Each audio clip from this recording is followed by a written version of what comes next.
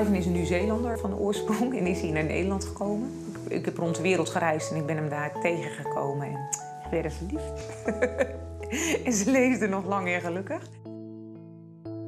Hij was ook ja, super sportief, muzikaal en, en, en met schilderen en dingen maken, met zijn handen echt dingen doen.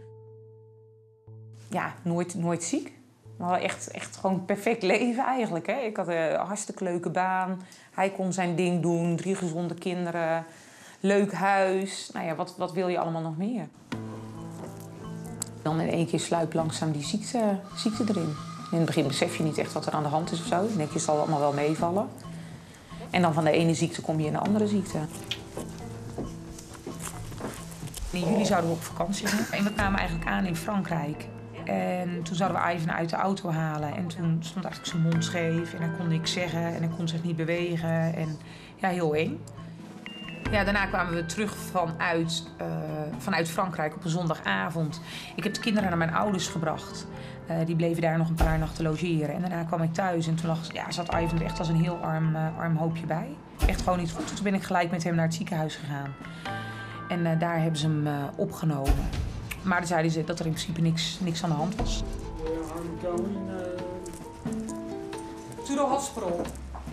Yeah, but uh, do.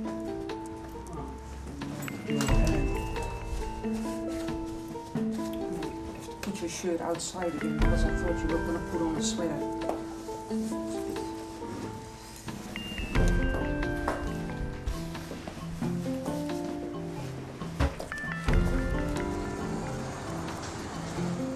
So you sure you don't have any questions you want to ask Dr. Visser?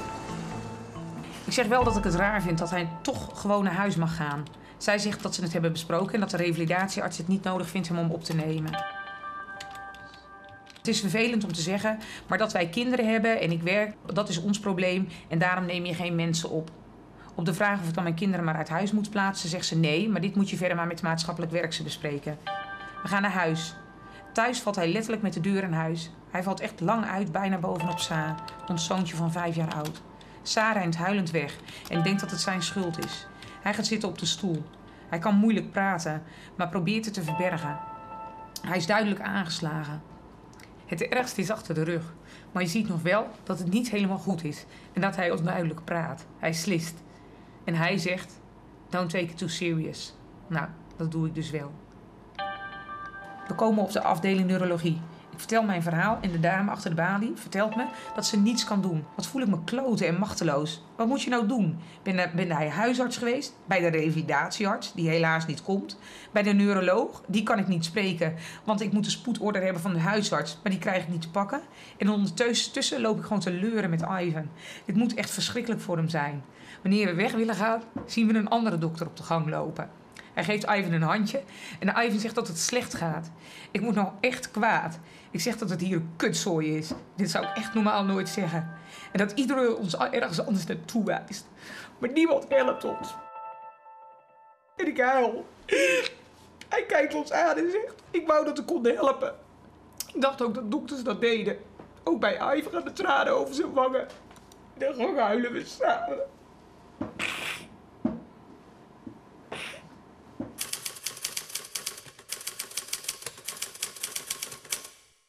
Je merkt wel eens dat in dat soort moeilijke situaties... dat het ook niet goed duidelijk is wie is nou eigenlijk verantwoordelijk voor de, voor de gehele zorg. En als neuroloog kan je dat niet helemaal oppakken. En voor de huisarts is dat vaak ook weer te ingewikkeld. Dus daarmee geef ik aan dat je moet proberen nauw overleg eh, te kijken van wat is de beste behandeling. Zowel voor de patiënt als de begeleiding voor de partner. Wat je dan sterk merkt is dat wij als specialisten of eh, als, huisartsen te veel gericht zijn op het, alleen het somatische deel. Eh, dat het dus heel belangrijk is ook om te kijken naar de andere factoren.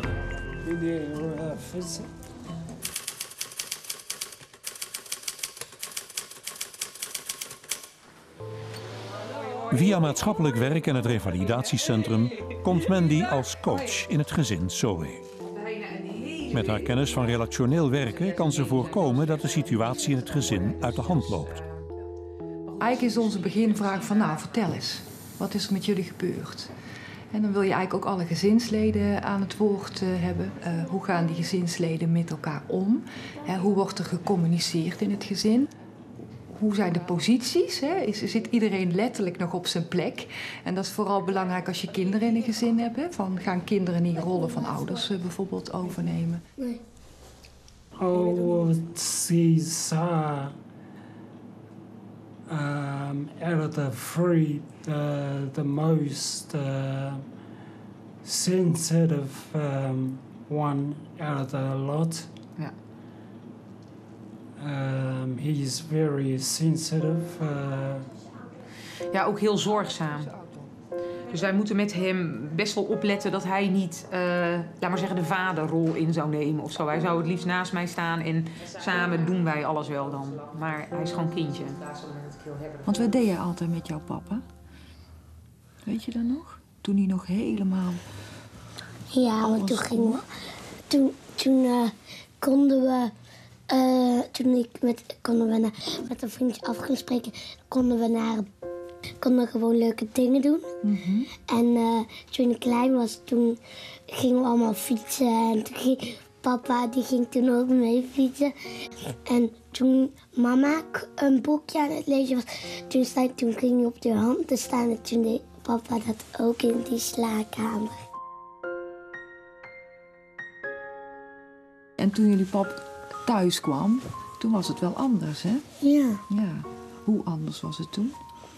Nou, toen had hij een rollator bij zich en een rolstoel. En toen kwam hij met de rollator binnen en dat vonden we wel zielig. Vond je wel zielig? Ja. Want toen zag ik met zijn handen meteen zo staan. Schrok ik wel een klein beetje. Heel graag vader willen zijn. Ervan overtuigd zijn dat je als vader, vooral voor zoons, eh, een hele belangrijke rol in hun leven gaat spelen en dat je een voorbeeld bent. Dat ook heel graag willen doen, maar het vaak niet kunnen. Het echt niet kunnen. En er daarna spijt van hebben hoe je dan met de kinderen doet. Omdat je wel echt wil, maar niet kan. Go. And when you look at your um, your being a father, are there changes there? um, relationship with my children is is uh, very small. It's more uh, mummy, mummy, and uh, they can't uh, really c- communicate with me. Toen ging dat samen met Christian. okay. Open communicatie leidt tot minder stress. Is een van de belangrijkste grondslagen van methode familiezorg. You were a very active Yes. uh, father. Yeah. Uh, you were always here for them. And now you want to be there for them. And you can do it the way you want it. yeah.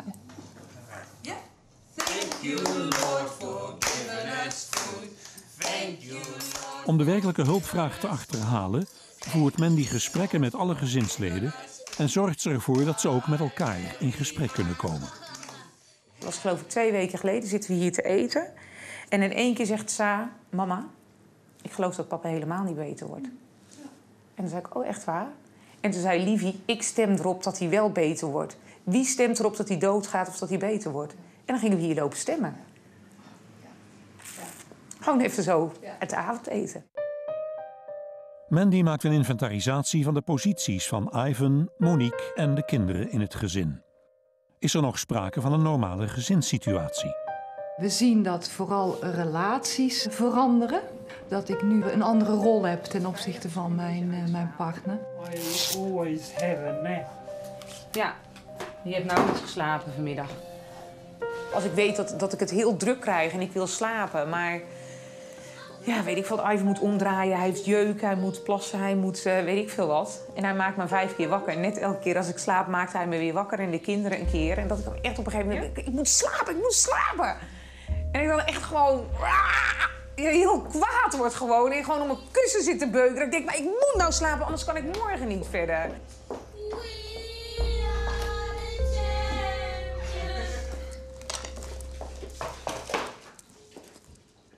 Dus, maar er zit ook echt wel stress en, en, en toestanden in, in dit huis gewoon. Hè? Dus, dus als Ivan zijn slechte dag heeft, of hij is moe, of hij dan, dan heeft dat op ons allemaal eh, effect. En ik zie hoe die reageert op de kinderen en ik zit daartussen en dan weet ik even niet wat ik moet doen. Dus ik raak er ook weer van uh, geïrriteerd of ge, nou ja, dan, dan is het dus niet, niet leuk.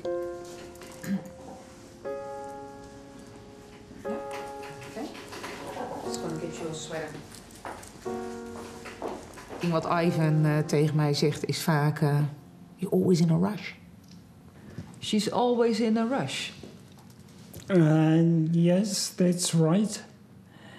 Um, I would uh, like to spend more quality uh, time with her, more communication. Uh, the only times is when you put in on my clothes, um, washing my face, and um, and then put me to bed. Maar soms dan wil je ook gewoon tegengas geven. En dan denk je, ja, hé, hey, maar dit is even lekker. Hè? Dat er wordt gezegd, ja, maar weet je, jij bepaalt hoe we het allemaal doen.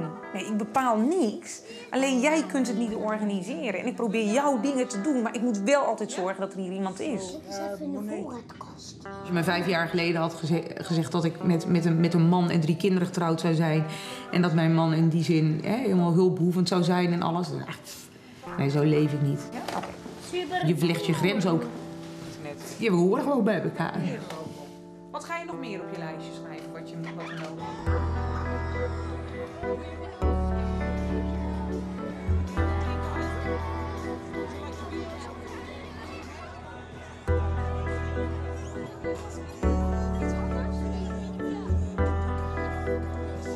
Voor de familie Soe was de grote vraag: hoe bouwen we ons leven weer op? Naast haar taak als moeder heeft Monique een fulltime job en is ze ook nog coördinator van de zorg voor Ivan. Voor elkaar gekozen, hè? Ja. Ben je meer hulpverlener of ben je meer echtgenote? Nu? Hulpverlener. Ja. Ja. Nee, ja, dat zegt Arjen ook duidelijk. Ja. ja. Dat, dat er weinig tijd is voor... Uh...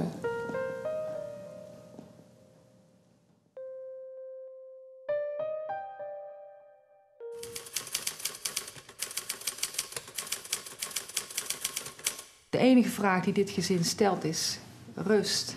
Kunnen wij gewoon weer rust krijgen, zodat we vanuit die rust gewoon weer als gezin kunnen gaan functioneren. Dat uh, Monique kan werken, dat de kinderen gewoon naar school, dat Ivan zijn vaderrol binnen zijn mogelijkheden weer op kan pakken.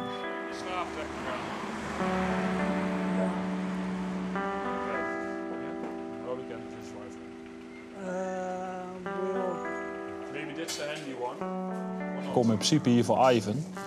En als we bijvoorbeeld thuis zijn met alle kinderen bij, dan is het lastig om iets te doen. En met die kinderen, ja, die eisen gewoon je aandacht op. En uh, als ik met Ivan de hort op ga, bijvoorbeeld naar La Poubelle of naar de stad of zo, dan ben ik echt één op één met hem. En dat is eigenlijk de bedoeling. Als uh, Monique werk is en er is geen oppas, dan, uh, dan kom ik daar voor zo'n moment en haal ik de kinderen van school. Een beetje wanneer de nood aan de man is en wanneer het ook uitkomt zo. Dus het is een beetje flexibel en wisselend.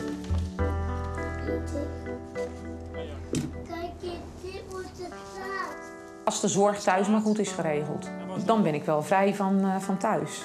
En als dat niet goed is geregeld, ja, dan dus niet.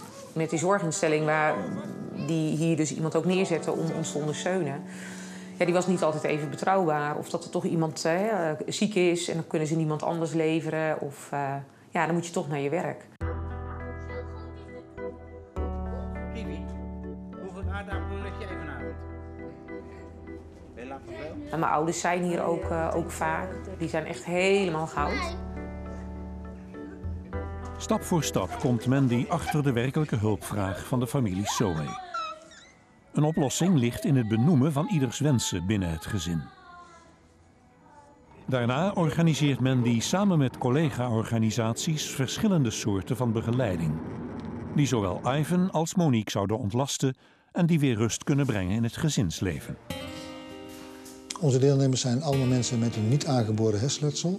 Dat zijn dus allemaal mensen die altijd gewerkt hebben, normaal gefunctioneerd hebben.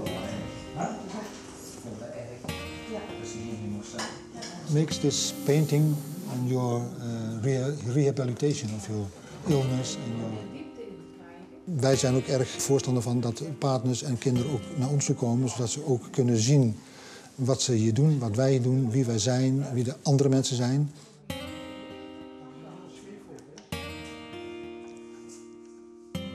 Bij Ivan hebben we ook contacten met degene die eh, op andere gebieden zorg levert eh, bij Ivan. Mandy die kent ons, wij kennen Mandy, dus als iets is dan is het even een belletje. En we kennen Monique, we kennen de kinderen. We kennen de ouders van eh, Monique. we, we- kennen dus het, het dichte netwerk rondom Ivan kennen wij. En dat heeft dus ook te maken met die kenniscentrum van familiezorg. It's uh, all re- uh, about uh, recovering um, from your sickness. En eh, nou zijn we creatief verder gaan denken. En eh, uiteindelijk eh, nu staan we op het punt om te kijken van... zou een au pair dat stukje rust kunnen geven... van waaruit je eigenlijk weer eh, ja, gewoon letterlijk met je leven bij, eh, verder kunt. Waarbij mijn grootste, eh, waarbij ik het heel belangrijk vind... dat zeg maar, de gezonde personen ja, ook gezond blijven. I go there. Shall I do it for you? Yes. Ja? Ja? Oké. Maar ik weet nu ook, mede door Mandy, die wel heel erg zegt... je moet zorgen voor jezelf. Je moet zelf gezond, gezond blijven. Want eerst dacht ik iets gewoon doorgaan en we zien wel waar we eindigen. Besef ik nu wel heel goed dat ik wel moet zorgen dat ik zelf ook staande blijf. Want als ik in elkaar stort, dat ik echt een probleem heb.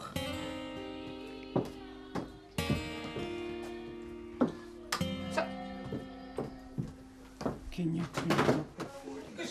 Ja? Ja.